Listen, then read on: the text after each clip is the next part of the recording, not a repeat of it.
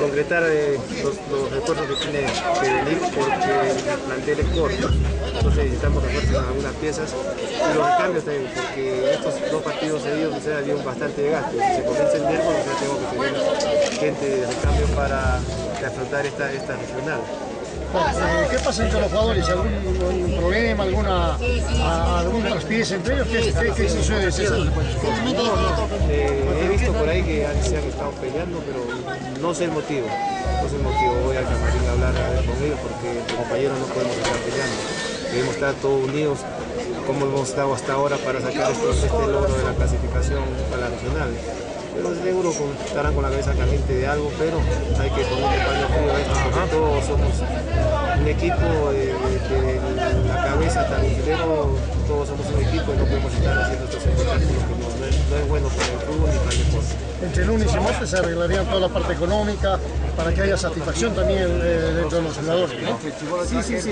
Eh, habló el presidente que el lunes y martes ya a pagar parte de sus mensualidades espero que se concrete para que haya tranquilidad en todo, como dijiste, de plantel, de jugadores, un cuerpo técnico, ¿no?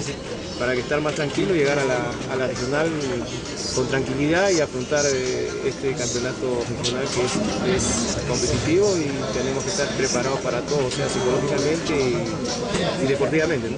¿Cuándo sabremos los nombres y cuándo comenzarían a trabajar de los nuevos refuerzos? Se debe saber de mañana. Mañana, ¿no? Sí, porque ahora en la noche. ¿Dónde trabaja mañana? Mañana de repente hacemos un regenerativo, quiero ver el campo que hay, de repente vamos a, a rinconar con el campo sintético o en el, en el, estadio nuevo, pero creo que a veces no lo dan, más creo que es en la, en la Universidad Andina, creo que. O vamos a la Andina o al, al campo este sintético del, del Muy bien César, la verdad felicitaciones, desde un comienzo cuando llegaste auguramos, te auguramos bastante éxito y creo que finalmente se está consiguiendo esto, aunque todavía no hemos hecho nada, ¿no? Apenas hemos pasado una, una departamental. Bueno, sí, como te dije, o sea, vamos paso por paso.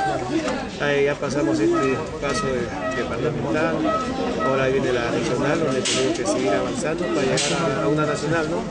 Y si Dios quiere, el campeonato de la Copa Perú para estar en la profesional. Muchas gracias César, muy amable.